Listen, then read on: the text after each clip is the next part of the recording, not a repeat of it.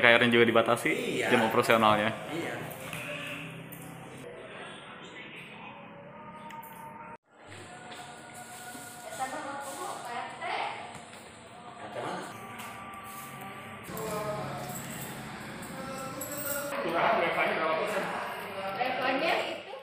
Eh, warga yang ingin menggunakan apa mendapatkan surat STRP itu bisa langsung datang ke kantor kelurahan. Bisa langsung datang ke kelurahan, ke kantor kelurahan gitu.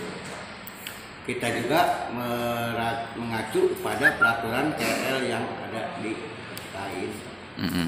Syaratnya apa aja sih Pak untuk membuat surat itu? Paling KTP. KTP aja ya Pak. Ah, KTP dan surat pengantar gitu. Paling eh, pekerjaan dia gitu. Mm-mm. Kalau seumpamanya untuk dia kepentingan umum nggak bakalan kami terima pak. Mm-mm. Ya ini kan persyaratannya untuk pekerjaannya pak. Baik Iya. logistik gitu, baik kesehatan. Ber- berarti sesuai apa dengan kedua lini sektor tadi itu ya Pak? Iya kedua. Esensial dan kritikal. Iya betul. Kalau untuk umum nggak bakalan saya layani. Mm-mm. Pak sampai saat ini sudah berapa orang sih Pak yang bikin? Baru dua orang. Baru dua orang ya Pak. Iya baru dua orang. Mereka sudah pada tahu ya kalau Iya. Pak eh, surat ini tuh bisa digunakan untuk apa aja sih Pak? Sementara ini yang saya keluarkan untuk kena KRL sih pak. KRL ya. Iya. Eh, Pak, eh, selain itu eh, surat ini itu hanya untuk berlaku untuk eh, apa? Domisili Rangkas Bitung ya? Atau Iya berdomisili di Rangkas Bitung Barat tersebut gitu pak. Iya. Ada batas waktunya nggak pak suratnya? ya? Ada batas waktu nggak? Misalnya sampai hari kap sampai tanggal berapa? Belum ya Pak, cuma cuma ada Oh, ada. Iya, Oh, ada. surat itu ada yang ditolak pak karena dia umum.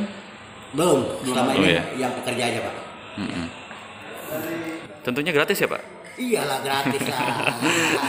Tiada Iya. pungutan ya? Pelayanan alhamdulillah ya Pak ya. Mhm. Pelayanan ini saya digratiskan Pak. Mm-mm. Gitu.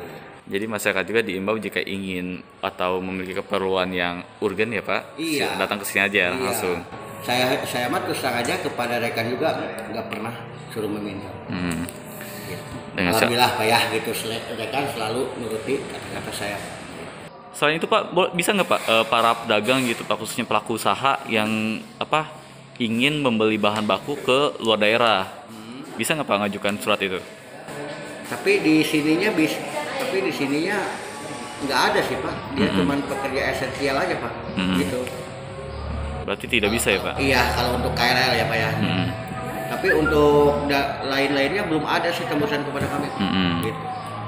Intinya sesuai dengan ketentuan dari KAI aja ya Pak. Iya.